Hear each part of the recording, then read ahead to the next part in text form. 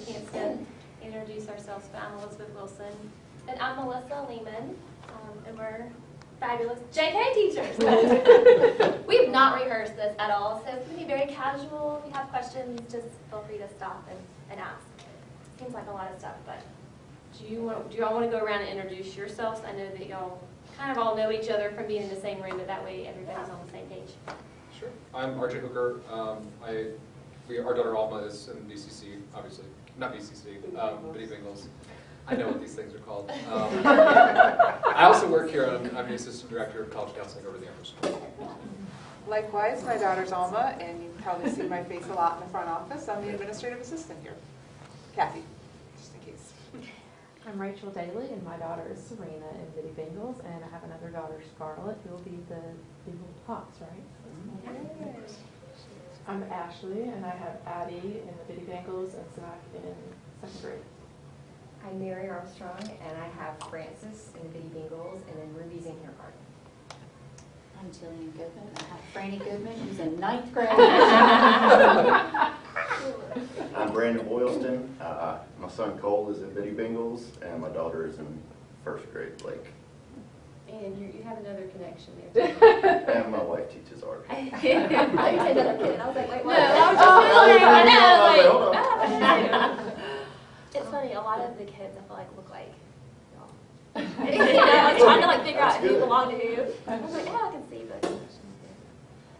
So we figured the best way for you to kind of learn about JK is just to kind of go through our typical JK, day in the life of a junior kindergartner. So in the morning, when they arrive, they, um, they just have center time where they get to free play, just similar to what they do when they come in for Bitty Bengals, And then we, um, also, they can, they'll sign in. And we don't start off at the beginning of the year this way, but we will start pulling them one-on-one to work on writing their name. And they'll start with capital letters first, and then when they're ready, we'll move them on to the um, capital letter first and then the lowercase. And then, let's see, Melissa, is there anything else that you want to add? No, I'm just making sure you don't have anything. Yeah. And then Melissa, I'll let you. Okay, so every day we start off with a morning meeting, probably very similar to um, the Bitty Bengal classroom. Um, we go over a greeting, and so we have different greetings that we typically do. We teach those to the kids. Um, it's anything from a high five to a fist bump. Um, sometimes we'll do a pair share, so they'll turn and talk to a neighbor and discuss like their weekend or whatever it is they really want to talk about at the moment. Um, we go over the calendar. Um, we do the weather. Um, we have jobs, so the kids will choose. We have eight jobs a day. Um, this year, there are 16 kids total, so we do eight one day, eight the next. Um, and at this point in the year, they know if they don't have a job today, they'll have one tomorrow. Um, they take them very seriously, um, and they will let you know all day what their job is and all of their friends, which is good. I mean, they um, they share that responsibility. Um, also, so typically uh, for morning meeting, we're sitting in a circle. I think we were maybe singing some songs there, but they all have their spot in a circle, so they can see each other. Very similar um, to this. And we go over the schedule for the day. So we'll talk about what specials we're going to. Usually the teacher helper does that job. And so they're just kind of looking at our um, agenda that's on the board and we talk about where we're going. Um, sometimes we do things that are a little different at morning meetings. So for us, um, we've noticed that some of our kids need some help with um, fine motor stuff. So I have this like bucket of things they can choose to sit and just squeeze at morning meeting. Um, just little things that you know helping with their fine motor and their finger strength that maybe they don't really realize it, but we've noticed that they need help with those things. Um, now there are rules; they know they can't throw it or roll it across the floor, so we do a lot of um, acting out and showing what's appropriate and what's not, um, but just little things that we might change from day to day in our morning meeting. Um, it typically lasts, I don't know, 10 to 15 minutes, depending on how much time we have and where we're going, and then how um, cooperative they are. so sometimes we just have to stop and let them talk, and that's okay Right. too. And we do songs as well. And usually we have specials in the morning, um, typically after that morning meeting time. It just depends because every day is different. I just, we listed all the different ones. They go to the same specials that they go to um, for Bitty Bengal. Some of the time increments might be a little bit different, but we have computer science, music library, Mandarin, and And I don't know if the Bitty Bengals have started, but um, sometimes we'll go to the Mandarin classroom um, at this point in the year, and um, it's exciting for them. There's a lot to see and do in there, so. And I have a few pictures from some of the specialist classes. get to do. The top one up there with the letters is in the computer lab.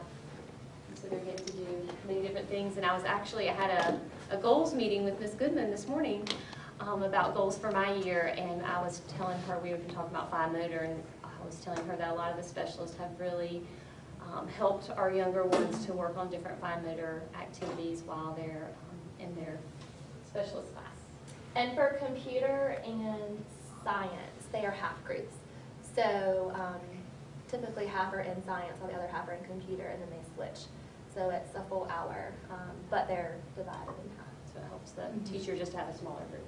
And families are welcome to come volunteer um, in those specials, I think much like Bengals. So no, this year in art, computer, and science, we all have a sign-up genius for parents to come, and it's a great way to have a chance for you to get to know the class and just to be there with, with your child and get to see what they're doing. Snack. Usually after specials, we have snack, and we do, you know, practice a lot of independence during that time of trying to open that. They might be twisting something off or um, opening things, because a lot of times their immediate response just come up. They don't even ask. They just hold it up like this, and we say, you know, and they use their words to ask us, and then we also say, try first and see if you can do it. And then also just packing up after snack and cleaning up and um, cleaning up their spot. But a big thing for us this year right now is just, um, they want to rush through everything and go on to the next activity.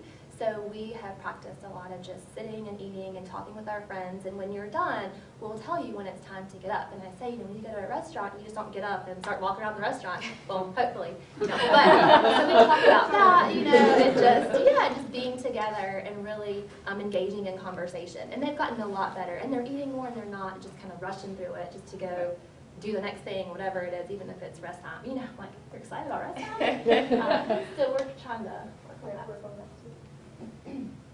Then our, part of our, kind of our main part of the day is our work time. So we do this in small groups. And this is similar to what they do in Bitty Bengals. They have work time. And we have different little stations where they'll just rotate through. That way we can see them in smaller groups. And so we do math during that time, language arts, which might have letters or sounds or rhyming games, and then also handwriting without tears. So we're going to show you a few of those materials just so you can kind of become familiar with. Um, handwriting without tears is a program that Greensboro Day has had for quite a while that we've adopted. And last year, Melissa and, I incorporated it into junior kindergarten for the first time. And so we have, we always start off the, at the beginning of the week doing like a multi-sensory approach. We have these, um, so it's fun for them because they're getting to play and make letters different ways. So we have these wooden pieces where they make the letters with those. We also have, We have the same magnet pieces that we put on the board, so they know the letter of the week is A or whatever letter it is. and so then we use, they, they use the dough and they roll these out and they get to make the different letters. And Mr. Smiley right here is at the top and that teaches them, that's where their starting point is for the letters until some letters like A, you'll start in the middle, but it kind of gets that um, focus point for them. And then we have these other little magnetic boards that are fun to use. They have, these are all some of the little magnetic pieces and they get to make them. And then we also have chalkboards. So we use all of these before we ever go to, um, like a pencil or anything like that. And then we have a little workbook. You wanna show Yeah, so for the workbook, it typically has like their pre-letter strokes, that they'll practice one day, and then they'll practice forming the letters um, next. So it kind of gives them um, a guideline to follow. And we get to use these fun little crayons.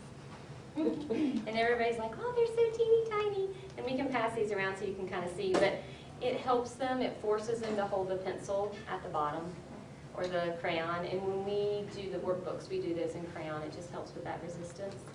And so we, and then the pencils look like little golf pencils. Well, and a lot of times they'll try to pick up the pencil like this, and it's hard when it's this size. I mean, it really like forces them to kind of hold it and have control over it in their hands. May I offer something just as a, an- I remember back in kindergarten having a conference with my child's teacher about the way she was holding her pencil. And I, I found myself thinking, what's the big deal? It's a pencil, you know, what, what's the big deal about that? And um, so a, a couple of things I think it's important for us to know as parents. Um, When you don't hold it correctly, it becomes more of a gross motor task and a much greater fatigue on the body um, than if you hold it correctly. And I still don't hold my pencil correctly, so it really hard really to hurts my arm. Um, So that's one thing. And then many of us might say, well, it doesn't matter because they're just going to be touch typing anyway. You know, why, why do we need to do that? And if you look at um, functional MRI research about what happens to the brain when you learn to put pencil to paper first, and then you go to touch type, um, versus when you just learn to touch type and you haven't learned pencil and paper work, um, it's pretty remarkable in terms of the connections your brain makes, which allows you to do all kinds of other problem solving and things like that. So I sort of poo-pooed as a parent, and um, I just want y'all to not do that. It's interesting too, because we, um, being at this school, we often talk to the kindergarten teachers, and we say, you know, what are some things that you really want us to focus on in JK before moving to kindergarten? And one of their top things is pencil grip. They're like, it's so hard to reteach them the right way after they are in the habit of just doing it the wrong way. Um, and so we've been very purposeful about really focusing on that um, and just getting their fingers ready for Well, twenty years from now, he's gonna make these beautiful poster boards of everybody's touch typing. I know, I know. I still remember, it's mom and dad in the front and the three kids in the back. And we That's what we do have little like um, grips and things Right. that will help them, but we don't want them to depend on that. Um, It's all of a sudden when it's not there, they don't know what to do, so. Ruby's having a hard time with that. We bought all the grips before she even started here. I mean, we knew right away, we were like, whoa, no. Yeah. You're of holding the pencil like this, and we're like, what? And then it was all these weird ways, and we're like, it's like, you know, which is strange because Frances went straight to holding it the correct way, and we were like, what? Why didn't Ruby do that? And she's still struggling with it, but, um, and she says every day, oh, I'm so tired, my arm is killing me from all this writing. And I think, you know, it probably is, like you said, it's harder when, when you don't hold it right, so she's working on that, but it's, yeah, I I didn't know it would be that important. And it seems like a really small thing. I and it's hard for me to teach because I mind all this stuff. So, because like, I have to think about it, like when I'm helping them, you know, Right. and like what it should look like. Right. Um, and then the next slide is some of the math stuff. Yeah, So- so we do lots of like sorting um, and graphing. I mean, we can tell we've got a few of our graphs Yeah. that we do. Um, even if they can't write yet, they can still do things like this. Um, we'll go and use the the areas around campus um, to do different activities, or we did like a shape hunt, and they had to find and take pictures of certain things that we were looking for. Um, we got some of the materials. Yeah, and then most of our math is hands-on. We do do some um, pencil and paper type things, but um, especially at the beginning of the year, we're going to be doing, you know, hands-on, and they don't even know what, that they're, that they're doing math. So, yes. Um, quickly, to go back to writing, sorry. I just- Yeah, no, you're good. Um, would it be helpful if we worked with them over the summer on it, or would you rather us not really introduce anything if you have your own way of like started doing? it? I don't, I don't wanna mess you up. Way, if, if it's clearly like not right, then we help them, but there are several different ways that you can hold it that are okay. Um, you know, we've got, I should have brought that, we could. Well, I mean, the photo book, it kind of shows a little bit, I think, of it. And I mean, it's okay if they come in and they're still holding it, like this, we'll work with them. It's, kind of depends on your child, and it's, you don't want to force anything, because if, then you force them, then they're never going to want to pick up a crayon, they're never going to want to, to do that. So I think it's kind of really depends on her. And their interest, I What- think. But I mean, I think it's okay to, to do that, but like um, Jillian was saying that um, you put, like this is supposed to be um, dad in the front seat and this Oh, is mom That's and then the three kids talking are in the that's what I'm back. So, and, and one way that we, you can teach them too is if they use their two fingers like this and they pick it up and then they lose it back, and then they flip it back. Okay. That kind of helps with the, And some kids at this age are still trying to figure out which hand to write with. I mean, I've got a few that will put it right in front of them and see, you know, if they use their left hand or their right hand um, to go and pick it up, and so that's interesting to watch. Um, And if she's having a problem with it now, um, I mean, I know that Emily's probably noticed, or that's a goal for her, or you know, something that she would probably bring to your attention. Yeah, we, we, we've been doing the golf pencils and the pre-handwriting where she just makes shapes, I guess. Um, But, uh, yeah, I mean, yeah, she, she doesn't want to hold it right and it is a struggle, but I don't, I Mm. haven't been really, like I said, forcing it. Yeah, Just kind of sit down for five, ten minutes and see if you can do it, and I don't really get too involved. but- And, and yeah, so with math, we just, we play a lot of games. And it's fun, even the, right before I came here, we were, we happened today used to have three different math stations, that's just what we had today. And, um, they were so excited, and I told them, I said, I'm going to talk to all the parents that are, um, in, that are being, Bitty Bengal parents that will be JKers next year. And I said, what do you, what would you say to them? And they're like, we love JK, so. So, I mean, you know, they had no idea we're rolling dice and doing number things, and they're just playing, so that's what's so fun about. So even um, during our rest time, we have some that don't rest. And so we have these little boxes of things that they can do. Um, and this one is just creating patterns that you see on the little cards. Um, you know, and sometimes we'll have them do three or four of these first, then they can do their own pattern, or they can choose to use the things the way they want to. But um, just again, trying to see if they can create and um, Right. model what they, What they see. And this is another one that has Legos, and they have to try to copy that same design or pattern. And this one's just um, words that maybe we're working on, or, um, you know, sight words or whatever that are around the room. And then they have the letters, and we'll give them a um, cookie sheet, and then they just stick those to there. Um, So it's. So they're actually picking up on sight words and reading? We and got a few um, in my class that are, um, some of them came in like that. It's nothing that we're gonna force on them, but we can see if they're ready. If they know all of their letters and sounds, then we'll start with that. But we do have some parents the that, teacher's kids. they're like, bet. you know, well, no, actually. And I have some in my room too, so. Yeah. um, Um, but we're not gonna, I mean, it's not an expectation of ours. We do have parents that will come in and say, I want my kid to read, and we're like, well, do they know their letters? Well, not yet. So it's kind of like a, a Right. gradual Right. process. Um, But so- it's the um, differentiated learning? or- Yes. Yes, so we're just gonna meet each child where Yeah. they are, so don't panic. And they don't know that like, they're on different levels necessarily, you know, they're just so used to doing things a little differently and being in different groups for things, like, they don't know that like, kind of where they fit in with the group. That's fantastic. And that's what's nice about the small group for work time. It might be that they are kind of having play centers that are free, and then maybe we're pulling them a few at a time, or maybe even one at a time, depending on the activity. So it just allows us to differentiate wherever they are and stretch them. And um, obviously, we do lots of letters and sounds, and um, these are just some different activities. The, the top corner, where we have shaving cream, and we're um, writing letters in the shaving cream. And I will say, when my daughter, who's in first grade, was working on her spelling words, and she was having a hard time because we moved up, we got out the shaving cream, and she had a ball. So you can use that for engaged kids. She loved it. So, and then like, for instance, in one group I was working on, we were spelling some words. And so we might, I might have said cat, and I'd say k, and they'd have to write that letter. In another group, we might just be, I might have a T and showing them a T, let's make this T. So it really just depends on where the student is. Um, For the letters too, that one says, do you, does your name have the letter U in it? And so then they get to come and write their name on the board, and we do that, and they love that. Um, Melissa, do you want to explain that one at the bottom, what they're doing there? Yeah, so I think our letter of the week was you, and so we were writing under the table. We had put paper underneath there, um, and they were so excited, but then they got frustrated very quickly. It was hard for them to hold their arm up there and write. And um, I mean, some of them couldn't reach; they get pillows and stack those up. But um, you know, just let them. It doesn't have to be sitting at the table doing stuff. I mean, we give them the option to sit, stand, crawl. I mean, whatever they want to do. You know, Right. sometimes to get things done.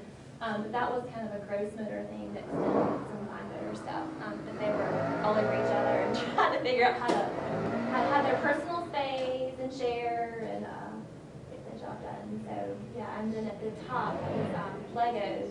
Oh, L, Yeah. Legos. yeah.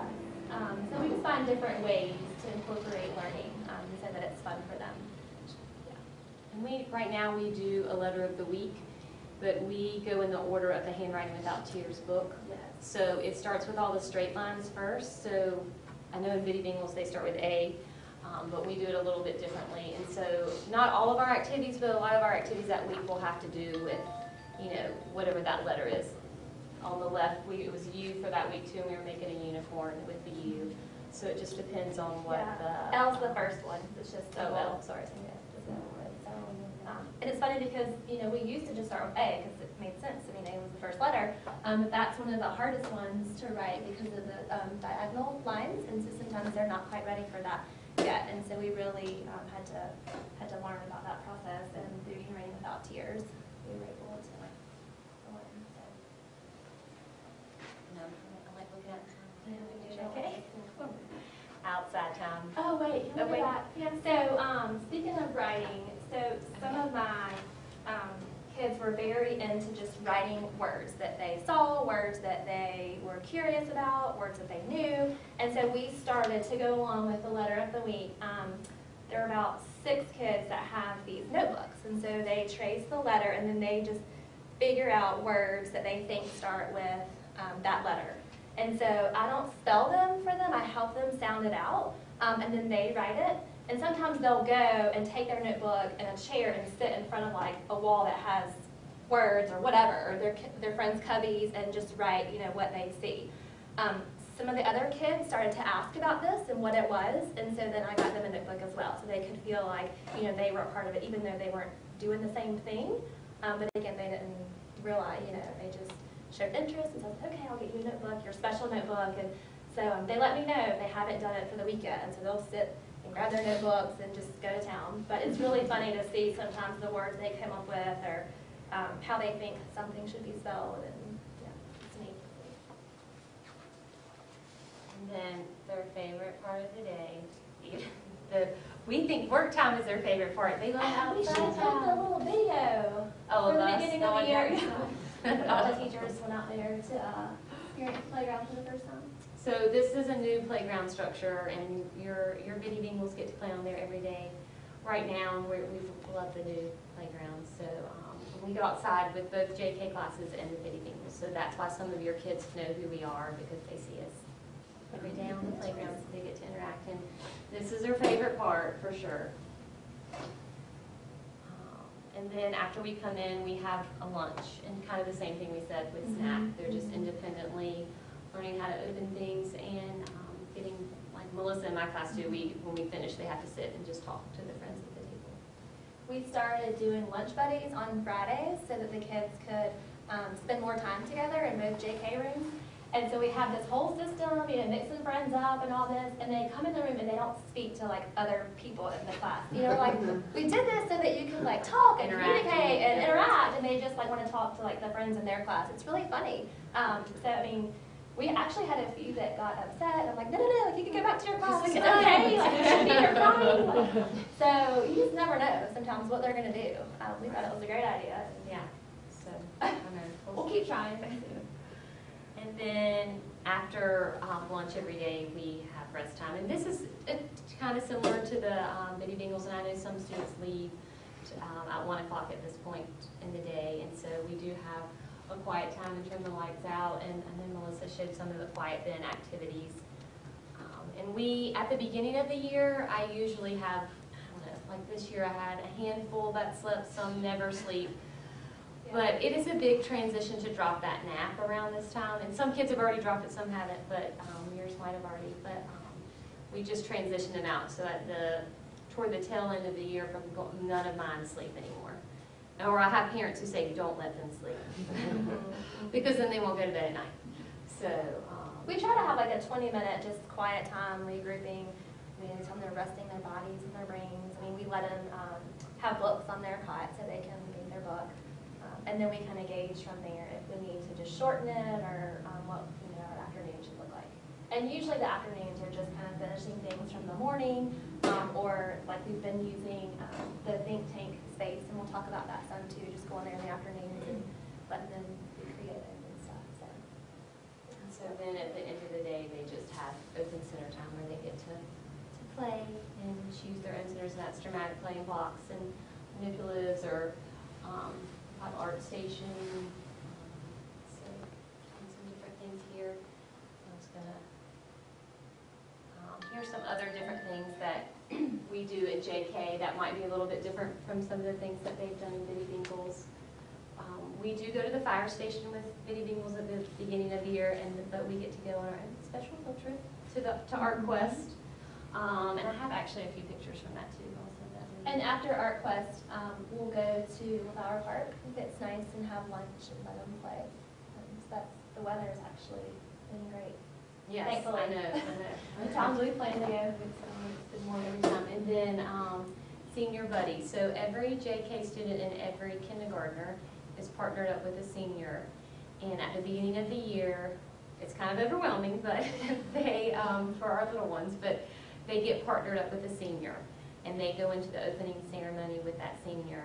And at the end of the year, they go to the closing ceremony. And so during the year, we try to get together, I would say like three or four times. Um, They'll come, the seniors will come in this day, we were still finishing lunch, and they came in, we were reading books and doing activities. And I think we meet again in February um, to to hang out. watching So them they- try to sit down and communicate with the little ones. Sometimes it's funny because they don't know what to do. I'm like, it's okay, like you can talk to them, read my book, you know, like we're not gonna bite you, it's okay. But the seniors really enjoy this um, opportunity to get to come back to the lower school and to get to have those students. So it's a fun little activity for the seniors, not just for our kids. Um, The think tank, we just um, did this activity with Ms. McLaughlin, I guess, a couple weeks ago. I think y'all just did that this weekend, yeah, I'm not sure, but, um, this is just, the think tank is one of the, um, rooms kind of back past the computer lab where we, as a school, can go in there and use different materials to create, design, learn to fail. So that's, um, hard for a lot of adults as well. But, um, so many more kids are having a hard time just accepting that it's okay to make mistakes, it's okay to, to fail, and let's try this again. So this was just, they had toothpicks and gumdrops, and they had to create different things with them. We gave them like kind of a different, at first, we just kind of said, create what you want, and then we said, okay, can you make this? And then we did letters and different things, So We told them the gumdrops were rotten, so they wouldn't eat them. Yeah. They were getting really close, I was like, no, no, no, you can't eat them. Because some of these were left over from the candy houses. That's where they came from. Yeah. From the So, gingerbread and then they eventually did letters and things, and I think it's neat to see how they're kind of helping each other, um, you know, work through the challenge. I also got to visit when um, Amanda was working with them on building a bridge that supported a load. Yes. Yes. And they had to had to make figure a that table. out. Yeah, Yeah. a big table, that's right. Yep, yep. And so then other grades will, you know, do other fun things, so it's a neat space for us to create and design. And bingo games, it's very fun, it's, I guess, it's- I don't even know how to explain it. I mean, I do, but it, it's a fun, um, I guess we go from all the way junior kindergarten, all the way to seniors, are put into five different color groups. And each group is raising money for a different charity in the community, and there's a company that will match kind of the points earned for that. Um, Team Yellow, then they are raising money for juvenile di- diabetes, and so then a company will match all the points, and say if you've got one point, we'll give a dollar. So, um, we and JK get to be the orange team, which is, um, we're We felt basically the left out Yes, so we're the cheerleaders. Yes. Because it was overwhelming to put us with the different colors, so we kind of get to go around to the different Together, stations yeah. together, we float around, we get to hand out extra points. Spirit points. Spirit for- points. Yeah, so it, it allows us to be a part of it without being separated, um, because it's the whole school, so it can seem very overwhelming, and the kids are like, what is going on? But then for some of the games, they have like a station that's karaoke, you know, and they'll invite us to come up and sing with them or whatever, and so they, they really like that.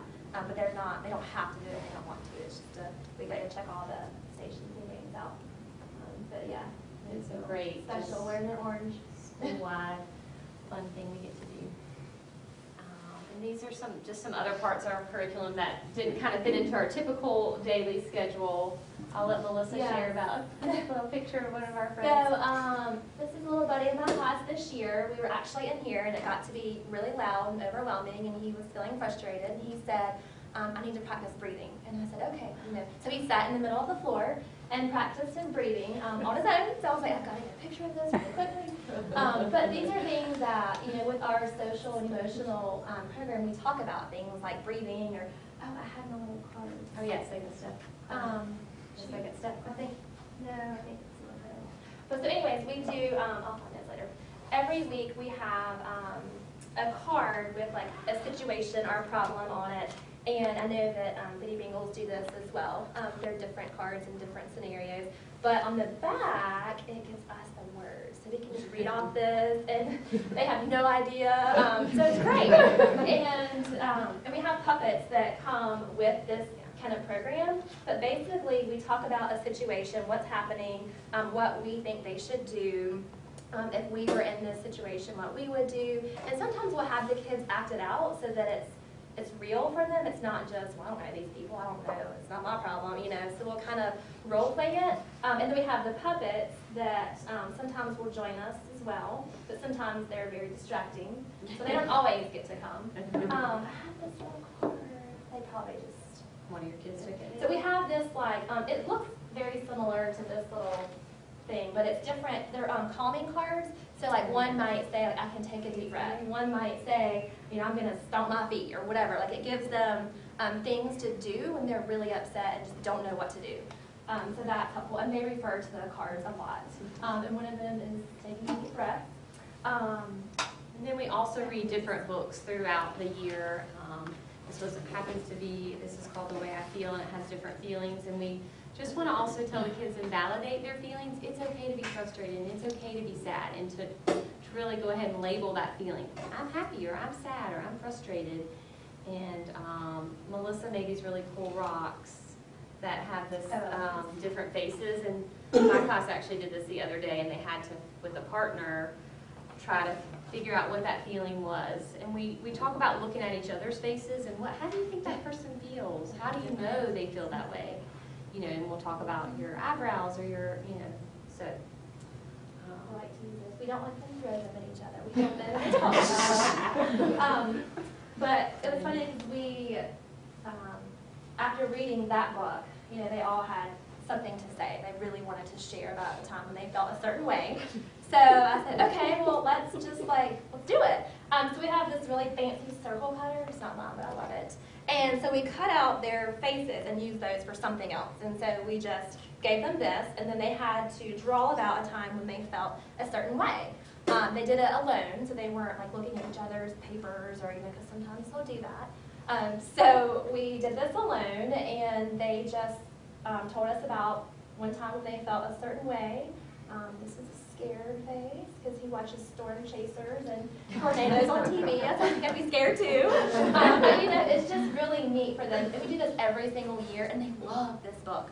I mean, this book and the yearbook are their favorite books, like ever in our class. It's really interesting that they like this. But so, anyways, we just talk about different feelings, and um, and you never know what they're gonna say or draw or um, so yeah, just to And at this age in all of junior kindergarten, we're social, emotional is a big part of our day. and We're constantly um, modeling for students how to handle those frustrations if they, you know, are sharing with a friend and somebody takes something from them and doing a lot of role play, like Melissa said, so that they can, when they get in that moment, they know what to do. And so it's not just on these cards or these books. I would say that's probably the number one thing we're doing It's all day a lot long of our day. is Yeah. talking about feelings. And we have our guidance counselor, um, Brittany Lutzweiler. She's also available and works with us, and she's great. I mean, she comes in a lot so the kids know her, and she's not just there when there's a problem. I mean, she's um, in our rooms a lot, so it's great to have that resource for us. and just a wonderful resource for, for you guys this year as well. Um, and then, I guess these are some of the, things. this was my class doing this the other day, the, the book that, and it was really neat to, to see that. And then, we also invite parents to come in and share. And so these are just some things this year that, um, some parents came in and shared about their different dates or, um, traditions that they have at home. And so we invite all of you, um, to, to come, and I know Emily's the same, just to come in and share if there's something that you want to share with us. It And could be we, occupation, because we have community special helpers coming talent, up. anything, anything you want to So- share. You're welcome. Um, we That might be the last- last slide, let's look at it. And sometimes too, um, not just parents, but like siblings will come in and want to like read to the class, or um, sometimes we'll do reading buddies with the class that, um, yeah, I think last year we worked with first grade, so towards the end of the year, and they were paired up and they would read books together. And so we try to do things um, throughout the lower school and the entire school as well. We go to shows and things on campus and really try to take advantage of all of our spaces here. And actually, in this